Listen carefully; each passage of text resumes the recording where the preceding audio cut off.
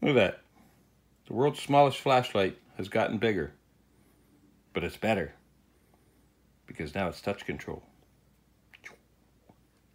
Look at that. It works perfect. Usually I would have to pull these in and out like some kind of animal. But now, I have the power of touch. More flashlight goodies coming up in future videos for you folks. We've got lighting stuff, flashlights, EDC equipment. Stay tuned. I hope you will like, subscribe, leave me a comment. Let me know what you think. Welcome to the Philip Cockram channel, my friends. Today, we've got something special. Pause the video, open a new window on your computer, and go and order one of these right now. Or two. Because what do we do when we find a great RC vehicle? We get to... Ha! Um, anyway, I thought this was just an RC-18. It was metal when I saw it. Um, and this this scale that these companies use, they're always messing around with this, right? And our name brands too, right? So this one is FLYHAL, it's called, name branded, right? It looks in some way similar to our um, Mine was an XK when I got it, but now it's branded as the WLtoys 144001 14th scale. Um, this is pretty popular, and I think you can get this in a couple different versions now, at least with different batteries and so forth, right? So we'll do a quick comparison at the end um, between the two, because I think they're going to be pretty similar. As soon as I opened the box, I ordered two more. They, I just think they're that good, and for the money, this is a no-brainer, right? Some people are really into the scale-looking stuff, and all that's really popular right now. But you know, for what you get for the money for those things, it's like you know, this is no comparison, whatever, right? So, um, this is not an RC18. Um, it is definitely not an RC18. So, let's uh, show you what you get in the box with the FLYHAL FC650 take a little look at the rest of the box here. I've got the specifications pulled up between this and our WLtoys, and I'll show you that now.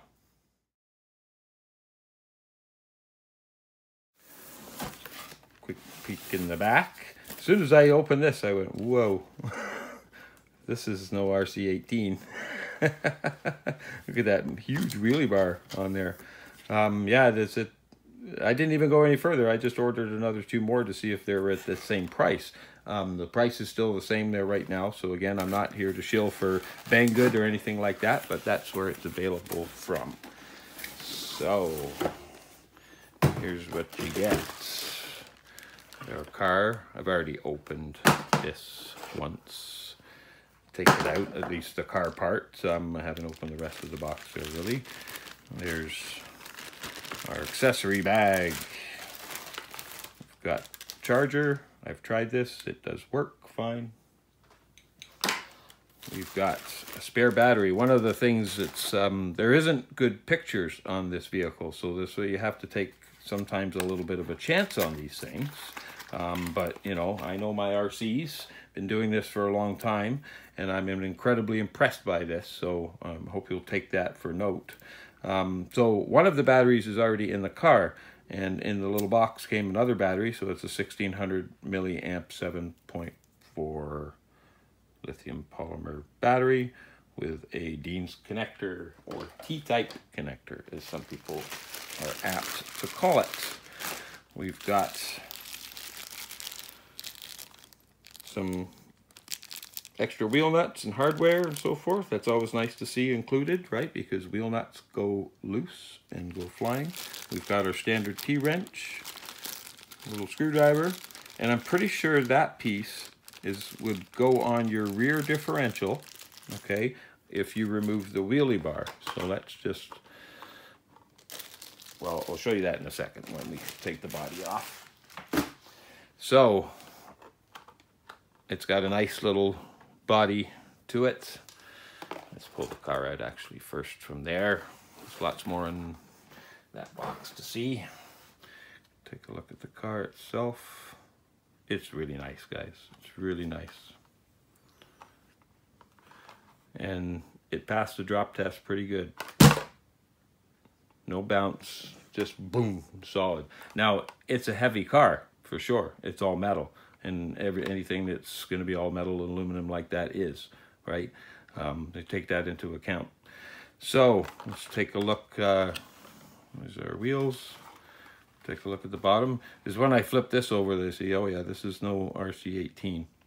So what it is is an RC18 designed chassis, but it's been stretched much further and widened and so forth. And these arms are nowhere near what would be on an RC18, even on their monster truck version. Uh, RC18 arms are way smaller than this, right? So, but the only complaint I could make about this thing, and it's pretty minor so far, is that this is just kind of like a paint that's, let me refocus you there, sorry. This is kind of just like a paint that's on the arms. It's not proper anodizing. What you're seeing on the base plate there on the bottom, that's anodizing. That's proper aluminum anodizing. What you're seeing on these arms is not. Okay, so keep that in mind. You can see it's already starting to wear. It's brand new, and there's there's you know paint coming off on the box already, you know, just from shipping. So you know, just keep that in mind. It's, um, you know, and, you know, with these budget kind of up, uh, upgrades that you can get, um, you know, some of them are varying quality. Some of them are awesome. I have aluminum parts that are, you know, look brand new, but they were very expensive aluminum parts, right? So that's the uh, bottom. Take a look at the front. It's got a really nice look and stance to it. It's got a, a lot of body work cut out there, but you'll see why I think that is in, in coming up in a second. And then this big wheelie bar on the back. And it's nice. It's really nicely made, solid wheelie bar. All right, and let's take a look inside. So, again, you can see we've got an RC18 design here, but it's nowhere close to it. You know, they've got, and you could easily, I think, put a full-size servo in that spot. Um, at least one of the short uh, body ones for sure. So um, there's your motor, and our heat sink. Again, you can see the specs that I put up earlier on the KV and stuff if you want to double check that. It's got a nice uh, fan, you know, it's an all-in-one ESC receiver, okay? You know, obviously a weak link, but if any part on this car failed, I'd still be very happy with it right? Because it's just got so much going for it that it's that well, right? So sorry, the focus doesn't seem to be going too well for me today. Um, so um, as you can see, the one battery is installed. You've got lots of room to put quite a bit bigger battery in there. Um, it's got a little nice little strap on it too. The other one had a stop, a little plastic stop that I removed, or I could you can move it forward. There it is there. So you can unscrew that and move it up to those holes to put in longer batteries, right? It just kind of stops it from hitting your uh, rocker, me your uh, steering mechanism there, right? Um, so you can see, you know, there's very little plastic on this car. The top braces, the cover here is, um, and your differential covers, right? The bumpers, which you want those to be plastic anyway. Um, so your differential housings, you know, that's about it got a little bit of a plastic, you know, lip to the tray here. Um, again, just a beautiful, beautiful car. Now it's not set up very good. The the rear end seems to be towed in kind of properly, but you can see the front is bad. It's a little bit better when the when the suspension's off it there, but it needs some adjustment here. And that seems like a great point to talk about some tooling tips and stuff like that. Um, half of you watching this are going to be RC people that are just checking it out to see what it is, and there's going to be other people that just could be considering their first RC vehicle or proper hobby grade stuff for the price of this thing, $112. You'd be crazy not to buy this if you were looking, you know, this blow away any Walmart toy that you could ever buy, right? So, um, and you know, uh, trust me when I tell you that um, even if you couldn't buy parts for this from directly from that company that you bought it from, there's dozens and dozens of RC vehicles that have parts that would be compatible with this. So you wouldn't be um, in trouble by any means, right? So, you know, your your little God key here. You know, one thing you want to do with any brand new RC vehicle, whether it be a car, a boat, a plane, or whatever, is you want to go over your hardware on it and check it because there's so many screws and nuts and bolts and things on these things, right? That, you know, even the best companies can miss things, right? And, you know, something so simple as just a wheel nut not being tight from the factory. See, that one needed a little bit of a snug. Um, you know, all of a sudden your your day's ruined because your tire's gone missing. so, you know, that's a little um, tip and reminder. Um, it's a good idea to invest in a, you know, some half decent tools, right? Your um, hex drivers with some half decent handles is a very good idea. You can get away with, you know, your Allen keys and stuff like that, but these make your life a whole lot easier, right? Um, my set needs to be replaced because the tips are getting wear, but these were Integy and I've had them for 15 years and they've done a lot of work. So as far as um, drivers and stuff go, you know, again, you can get away with a little, you know, cheap multi-kit, something like that. It's got all your pieces in it. But having, um, you know, dedicated drivers really makes a job a whole lot different. These are very old, but they're, you know, of a uh, half decent quality. They're electrical style. That's why the tip, the, the shank is insulated on them. But um, the tips on these are in very good condition, even though they've worked for me for 20 plus years, right? You know, so sometimes you don't have to spend a lot of money to get um, half decent quality. Um, you know, some kind of little knife kit is a kind of a definite must for RC and hobby stuff there. Maybe not too much for RC. Um, little small pliers. And I like to have something that's got some kind of 45 on it, right? And these little tweezer things here, I tell you, these are, um, you know, indispensable. They're so handy to get into tight plates, just to hold something or whatever. Um, again, you know, it's a must-have. It'll make your, you know, whole experience a, a lot nicer. So, um, let's uh, show you what else comes in the package because there's more.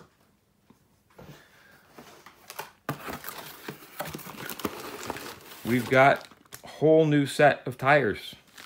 Big monster style tires, right? So this would be what you would call a truggy setup if you're not familiar with the terminology.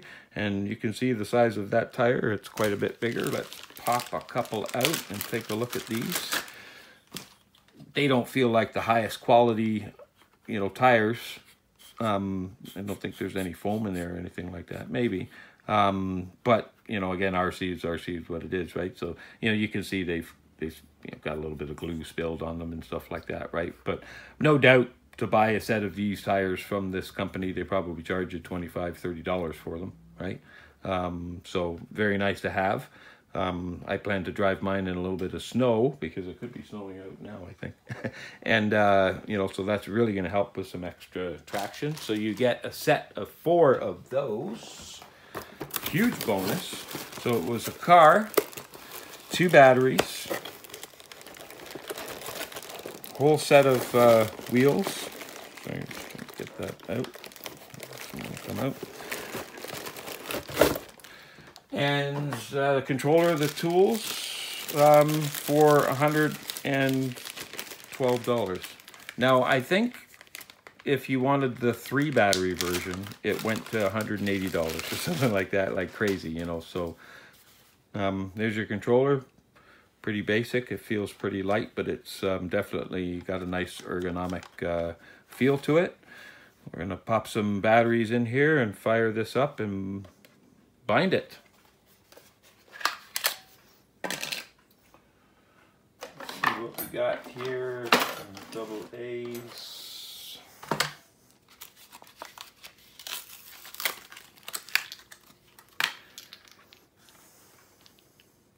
One of my very first vehicles getting back into RC, you know, like as an adult, um, was an RC18. And, you know, I wanted to go buy something big and, you know, flashy like a Revo or a Savage or something like that, right? And the guy at the store said, you know, you should maybe try something a little bit smaller and easier. You know, he was pretty good actually. Um, uh, see if you like the hobby, you know, because it's not just about bombing around, right? You know, it's there's a little bit more involved to it, right? If if you want to get the most out of it, right? So there we go. Our lights flashing already. So because the power was already on. Um, let's plug her in. Cross your fingers, folks. Smoke test.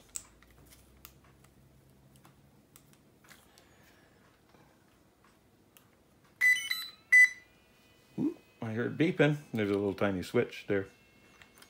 The fan's going on the ESC. Hear it spinning up. It's pretty quiet though.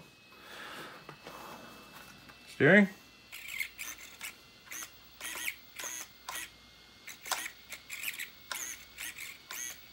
Feels pretty nice. Obviously it's bound up right away from the box.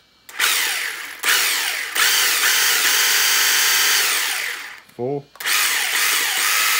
Reverse. Well, everything seems to be working good. I want to skid up my nice wood surface there, but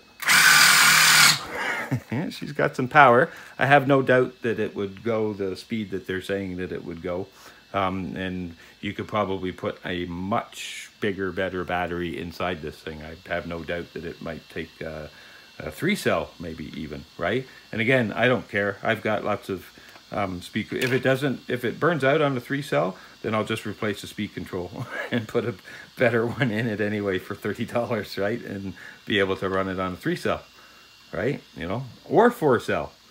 This thing's gonna honk. They put a wheelie bar on it for a reason. So, um, so anyway, that's our quick little unboxing. It wasn't quick at all, I know, but uh, you know, again, these videos are the length that they are. So you take them for what they were, uh, what they are. If you only want to watch five minutes, that's okay. Um, and if you don't want to watch them at all, that's okay too. Um, so um, we'll do a little film test as soon as I can.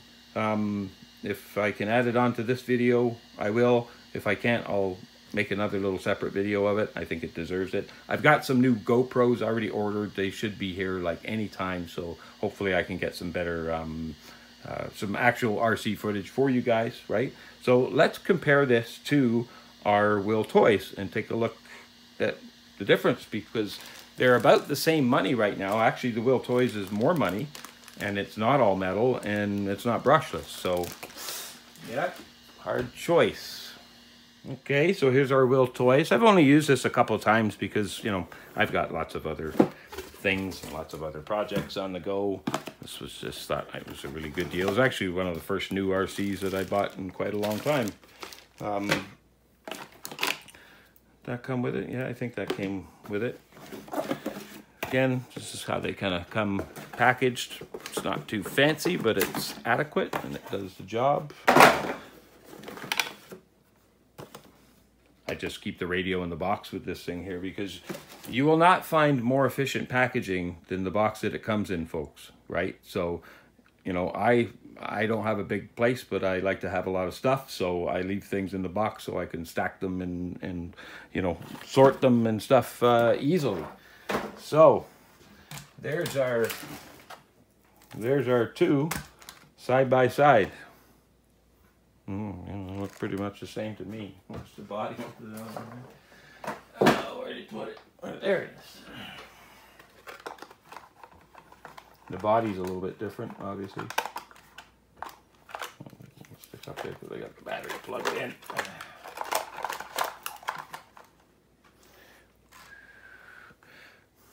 You can see what the difference, the kind of the body, just the body alone makes a little bit different. This one only seems to come in red. Now you can get this one in, in um, three or four different colors. It's available now, but that looks the same to me. Um, now, this guy is, you can see I've got a bigger battery in that one already because um, I took out that piece and moved it forward so you can just have a little bit larger size. So this guy has your brushed motor in it, not brushless, um, which, you know, I mean, nowadays brushless is becoming so cheap that, um, you know, I think they're just getting rid of these, right? That's why this one came out. The tires are a little bit skinnier, um, not quite as much grip on the WLtoys to that. Um, other than that, looks like they're using the same chassis. So those would be the arms, but in plastic version. This is compared to your metal version. Um, so right away, this thing, even with the battery in it, is a fair bit lighter than this guy. Okay, so I don't have a little scale here. I've got a new one of those coming too because I'd like to show you the difference between the weight because that is important. That's uh, significant, you know. It means it can have good things and bad things to it. You know, it's good and bad when it comes to a heavy vehicle, right? So just quickly, without getting too too much detail, um, the amount of um, unsuspended weight on your suspension of a vehicle, right, will determine its reaction speed. So the heavier arm, right, is going to react slower to suspension inputs than you know, a lighter plastic arm. Now these two are set up totally different here. There's barely any oil, if anything, I think in these shots. They're just, they're almost just um, bouncing. And that's literally how it came out of the box. Again, I, have only driven this a couple times. I've had it for more than a year, but I've only driven it once or twice, right? Um, this one just seems to be, as far as the shocks go, is set up very nice. You can see uh, as it is, they're very, they're very soft and supple, right? Um, which is how shocks are supposed to be. So there's a comparison between the two. Yes, they are the same vehicle um, with a brushless motor. Obviously, the ESC and stuff is a little bit different. It's nice to have a fan on there too. Um, but you've got the brushless motor. Um, you've got, you know, the extra tires with this one as well makes it well worth the money to to have it. Um, this one comes with two batteries. This one comes with two of these. They were a smaller battery, but I think you have different options now. Like you can get some with some different size batteries or um, LiPo versus Li-ion or something like that, right? So, um, you know, this one gives you a couple more choices. This one gives you some better hardware. Um, buy two, what the heck? Buy them both. So that's our show for you today, folks. I know it was a long one, but I hope you got something out of it. Uh, love and peace to you from Canada, and we are YouTube.